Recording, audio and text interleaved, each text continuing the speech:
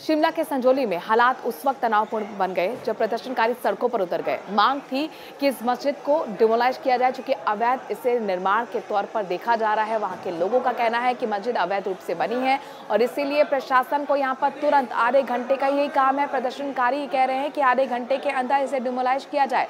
वहीं प्रशासन की तरफ़ से, पुलिस की तरफ़ से साफ़ तौर पर कहा गया था कि धारा एक लगाई गई है। यानी कि यहाँ पर पाँच से ज़्यादा लोग इकट्ठा नहीं हो सकते। परमिशन नहीं दी गई थी प्रदर्शनकारियों को परमिशन के बावजूद यहाँ पर जब प्रदर्शन करने के लिए पहुँचे, हंगामा खड़ा हो गया। कई ऐसी बार स्थिति हुई कि प्रदर्शनकारी और पुलिस के बीच झड़प हुई और ऐसे में पुलिस को लाठीचार्ज का सहारा तक लेना पड़ा है।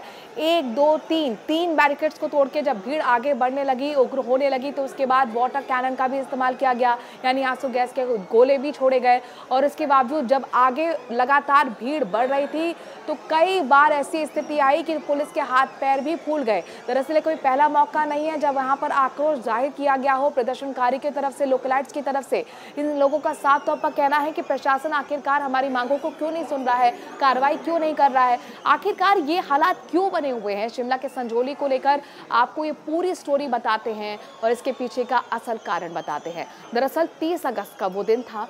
जब एक शख्स के साथ यहाँ पर मारपीट हुई, छह आरोपी थे, जिसमें पाँच आरोपी यूपी के बताए गए और एक उत्तराखंड का बताया गया। खबर ये मिली कि इन तीनों ने मस्जिद में जाकर अपने आप को छुपाया है। जब ये बात लोगों तक पीछ पहुँची तो उसके बाद लोगों का कहना था कि ये जो मस्जिद है ये अवैध रूप से बनाई गई है, इसीलिए डिमोलाइज किया जाना चाहिए। लगातार ये मांग बढ़ती गई और ये मांग इतनी ज़्यादा बढ़ी कि सड़क से लेकर सदन तक ये मामला उठा।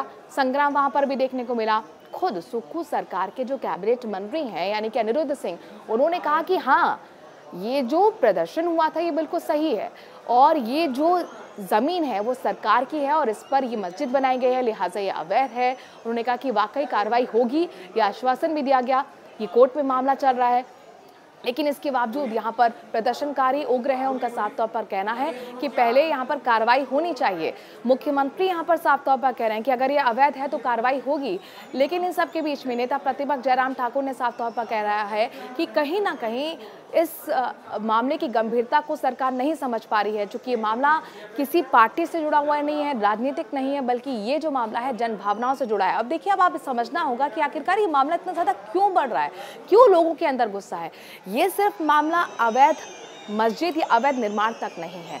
दरअसल ये मामला घुसपैठियों तक है, क्योंकि खुद कैबिनेट मंत्री इस बात को अनिरुद्ध सिंह स्वीकार कर चुके हैं कि कई ऐसे घुसपैठिए हैं जो हिमाचल में एंट्री कर चुके हैं, जिसकी वजह से माहौल बिगड़ रहा है, कानून व्यवस्था बिगड़ रही है, अपराध बढ़ रहा है और ऐसे लोगों की संख्या लगातार बढ़ रही है।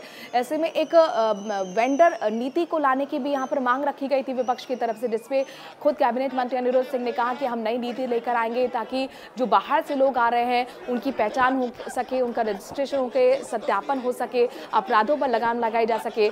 और दरअसल वहाँ जो आसपास के लोग हैं, जो शिमला में संजोली में रहते हैं, उनका कहना है कि ये चीज़ हमें शक तब हुआ जब वहाँ पर जो लोग थे जिनको ये काम जिम्मा सौंपा गया था कि घर घर जाकर आप कचरा उठाएँगे, जब वो वहाँ पर आते थे, घरों में घुसते थे तो वो हिंदी नहीं बोल पाते थे।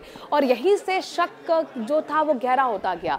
लोगों का कहना है कि रोहिंग्या हैं, लोगों का कहना है ये बांग्लादेशी हैं घुसपैठी हैं। और इन्हीं की वजह से हमारी जो कानून व्यवस्था है, वो बिगड़ रही है, अपराध बढ़ रहे हैं और इसीलिए यहाँ पर सत्यापन ज़रूरी है, एक बड़ी नीति लानी चाहिए। तो यहाँ पर कुल मिलाकर देखिए, मामला सिर्फ़ अवैध निर्माण या अवैध मस्जिद तक नहीं है, बल्कि ये मामला घुसपैठियों तक का है, बल्कि मामला कहीं ना कहीं सुरक्षा का है, बल्कि ये मामला कहीं ना कहीं खतरे का है। और इसीलिए लोगों के अंदर बहुत ज़्यादा गुस्सा है। अब देखना होगा कि सरकार ऐसे में क्या आगे कदम उठाती है।